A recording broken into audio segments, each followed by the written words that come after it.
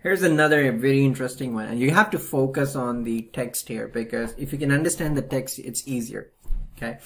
A BJT, a bipolar junction transistor, must have an input impedance and a gain that exceeds certain values. It should have a gain and input impedance that should exceed a certain value, which is very close to the performance limits of the BJT, bijunction, bipolar junction uh, transistor. And some of the BJT devices do not meet the expectations. Okay, there are few devices which do not meet the expectations. Okay, what are those numbers now in terms of those who meet expectations and those who don't? 46% of BJTs have an input impedance that is too small. Input impedance being very small. So I'm going to break it down so it's easier for us. So low input impedance.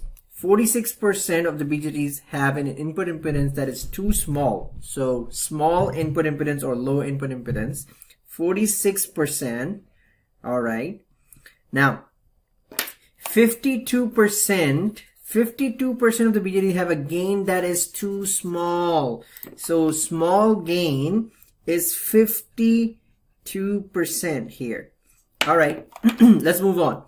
Also, 24%, 24% of the BJTs have both, this is important, 24% of the BJTs have both input impedance and gain being too small.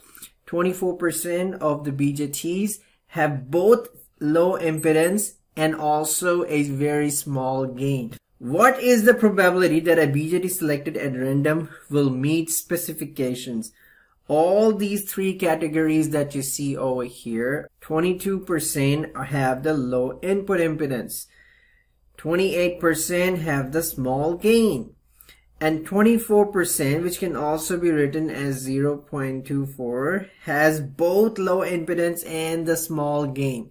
So if I add these three numbers and then subtract it from 1 that would give me the probability that a BJT selected at a random will meet the specification. So 1 minus 0.22 minus 0.8 minus 0.24 minus 0.24 and if I do the math here that this is going to give me 0.26 in other words it can also be the chances of picking up a random BJT 26% chance that it is going to have a gain in impedance that meets the expectations or specifications. And again, I just want to emphasize one more time, if you are still confused, why are we subtracting 24% here and here? Remember that 24% is already included here. So I have to subtract 24% from this 46%.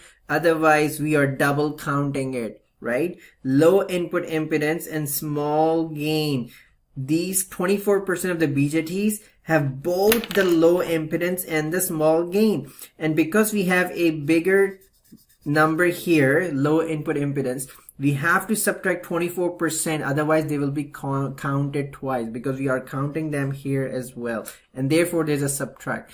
And the total overall probability is going to be 1, that's the highest we can have, minus this number, minus this number, and minus this number. I hope you get this